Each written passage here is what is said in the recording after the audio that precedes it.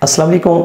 میں کوثر شباز کوثر اور آپ دیکھ رہے ہیں ہمارے YouTube channel Kausar Shahbaz Kausar official اور آج کی جو خوبصورت سی ویڈیو ہے، اس میں ہم آپ کو بتائیں گے کہ رئیس صاحب کی آپ نے بہت ساری فلمیں دیکھے ہوں گی۔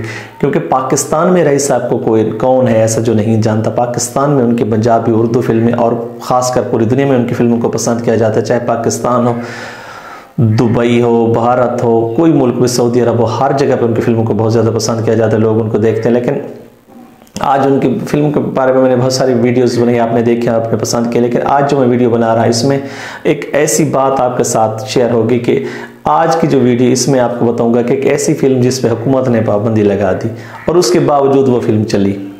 پابندی کے باوجود چلی۔ وہ فلم کون سی فلم تھی؟ اور کس ہدایت کار کی فلم تھی؟ فلم کا نام کیا تھا؟ اس میں نمایاں ستارے کون کون سے اور اس فلم کے گانوں کو کس نے گایا تھا؟ یہ تمام چیزیں آپ کے ساتھ شیئر کرتے ہیں، لیکن پیارے دوستو، پیارے بھائیو، پیارے بہن سب سے پہلے ہم چینل کو سبسکرائب کر دیجیے گا اور گھنٹی کا نشان دبا دیجیے گا، تاکہ ایسی ویڈیو آپ کو ملتی رہے۔ تو وہ فلم تھی ویشی گجر۔ ہاں ہاں ہاں آپ نے پریشان نہیں ہونا۔ پہلے ہم اس کے بارے میں سنے ویشی گجر، آپ نے بہت سارے شان کی فلمیں بھی دیکھی ہوں گی اور گجر برادری پہ فلمیں دیکھی۔ بہت سارے برادری پہ فلمیں بنتی اس لیے تو فلمیں ناکام ہوئی۔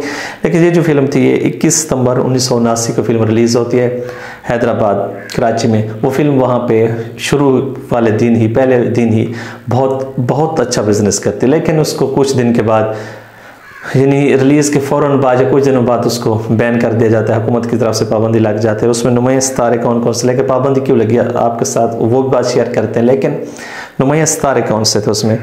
سلطان رئی صاحب تھے، اداکارہ آسیہ تھی، نجمہ تھی، عشرت چودھری، چکوری، منور سعید صاحب، اقبال دورانی بہار بیگم، افضال احمد، ساون، ادیب جگی ملے خیام۔ یہ اداکار نمایاں ستارے تھے۔ فلم کے گانے گئے تھے میڈم نور جہاں نے اور مہناز جی نے اور فلم کا میوزک ترتیب دیا تھا تافو صاحب نے۔ یہ تمام چیزیں اس فلم میں بزنس بھی بہت اچھا کیا، لیکن اس فلم کی خاص بات آپ کو بتاتے اس کے نغمات حسین قادری صاحب نے لکھے اور اس کے مصنف محمد کمال پاشا صاحب تھے۔ اس پہ پابندی کیوں لگی؟ اس پہ پابندی اس لیے لگی کہ اس فلم میں وہ ایکشن اور مار دھاڑ، وہ خونی پارٹ وغیرہ بہت زیادہ دکھائے گئے۔ اس وجہ سے اس فلم کو بین کرنا پڑا، کیونکہ ہر دو منٹ بعد ایسے پارٹ آ جاتے تھے، بس لڑائی اور صرف لڑائی، فلم پوری فل ایکشن تھی۔ اس وقت ایک رہی، اس میں کچھ خاص ڈائلاگ تھے جی وہ باہر بیگم کہتی تھی وہ گجرا تو نے نہیں مرنا، جے تو مر گیا تو بدلہ کون لے گا؟ اس طرح کے ڈائلاگ وہ جب تک یہ گجر زندہ ہے، کوئی زندہ نہیں رہے گا اس طرح کے وہ باتیں جو نہیں ہونی چاہیے اس فلم میں تھی۔ اس لیے اس کو بین کے لے اس کے باوجود بھی فلم نمائش کے لیے پیش کر دی گئی۔ مختلف سنماز میں چلتی رہی۔ لیکن کچھ دوست آپ بھی پریشان ہو جاتے ہیں اس وقت میں۔ ایک اور تھوڑا سا موازنہ آپ کے ساتھ کرتے چلیں کہ رئی صاحب کے بارے میں باتیں کرتے لوگ۔ اور وہ کیسی فلمیں تھی؟ ایک رئی اٹھی اٹھ کر صاحب کو مار دیتا تھا صاحب کے ساتھ مار جاتے تھے اور پھر جب اس کو گولی لگتی پھر بھی کھڑا ہو جاتا۔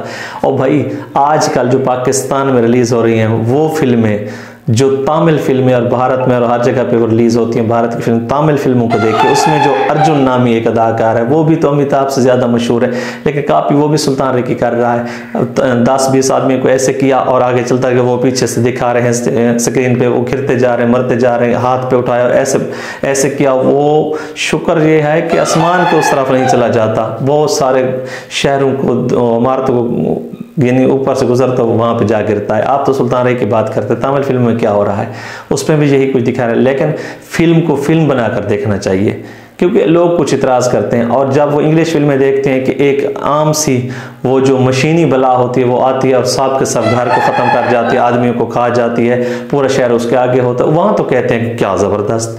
میرا مسئلہ یہ نہیں کہ آپ سلطان رئی کی تعریف کریں۔ میرا مسئلہ یہ کہ فلم کو فلم سمجھ کر دیکھیں۔ اور پاکستانی چیزوں کو پسند کیا کریں، دیکھا کریں، آپ کا اپنا ٹیلنٹ ہے۔ بہت ساری ایسی چیزیں ہیں جو دنیا میں ہو رہی ہیں، آپ ان کو کہتے واہ، کیا بات ہے! اگر وہاں کا سنی دیول کچھ کر دے، شاہ رخ خان کچھ کر دے، ایکشن میں کمال ایکشن ہے یار۔